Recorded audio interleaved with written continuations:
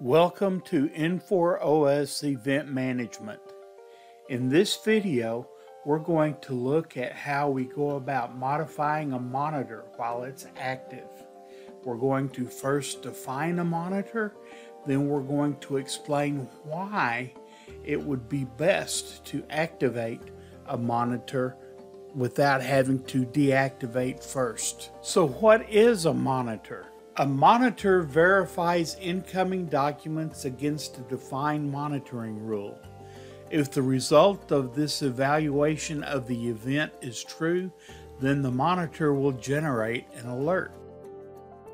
The alert is sent to users that are based upon the defined distribution list, which can be composed of one or more users, distribution groups, contacts, and or email addresses. The users that are receiving an alert will see that alert their personal Infor OS portal, the Infor inbox application, and by email if so defined. So why do we need to modify a monitor while it's still active? Well, the monitor is looking at BODs, business object documents, that are passing through the Infor ion service. If the monitor is not active, then when that event moves through the ion service, we lose the ability to trigger off of that BOD. So there are some aspects of the monitor that can be updated while the monitor is still active. These include the alert message, the defined distribution as to who will receive the alert message, the escalation and reminder settings, and the drillbacks configuration.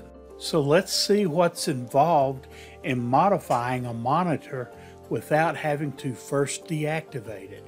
So I want to go to ION, going to open up the navigation pane we're going to go to monitors. We're going to find our monitor that is active and we're going to open up that monitor. Now we see here that the monitor is active. What I'm going to do is I'm going to make a change to the alert message. So what I want to do here is I want to indicate that this alert message is coming from my monitor shipment status. I'm going to change the alert message and I'm going to indicate that the monitor the message is coming from is the monitor shipment status monitor. So I come in here and I change the message.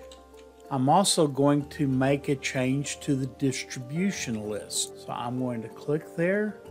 I will click on the add I'm going to select a user and I'm going to select myself.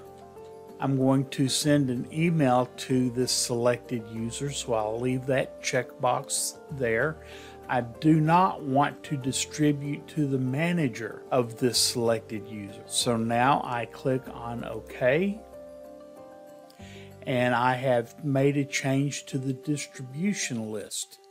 So now if I come up here and I click on the save icon, we'll see that there is now a white star on a black background next to the active indicator. So at this point, this is telling us that a change has been made to this monitor since it was last activated.